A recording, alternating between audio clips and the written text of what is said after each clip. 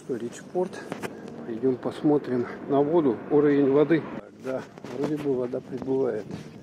Мне так кажется. Сейчас глянем. Да, точно. Смотрите, где вода. Вот это вот, как башня на этих опорах. Не башня, а вот как фу, будка. Вот уже под нее практически вода подошла. Льда не видно, смотрите. Раньше был здесь лед, просто вода вот до сюда вода шла и все. Спустимся под нее и вот эти вот ближе. А вот льда немножко там совсем под этими. Да, вот, смотрите, до куда вода дошла, до ступенек вот здесь вот. Видали, да? Вот, вот до сюда.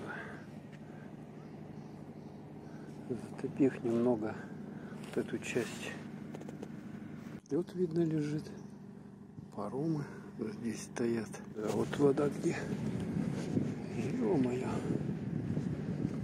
Я говорю, раньше вот здесь вот лежали льдины такие здоровые. Было прикольно по ним попрыгать. Но они сыпались так. А сейчас их немає. То есть тепло, в общем-то.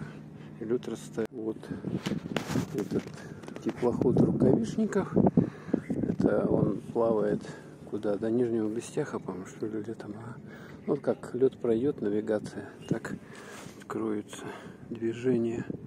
Вот отсюда переправа через Лену до Нижнего Бестяха, а там же станция находится. Такие проблемы у нас. Чтобы сесть на поезд, надо реку переплыть. или переехать, или перелететь. В принципе, я помню, когда был большой уровень, вода доходила где-то вот до сюда, по-моему. Вот до сюда вода доходила, и тут все было затоплено. Так что, в принципе, сегодня 20 какое первое число, воды не так много.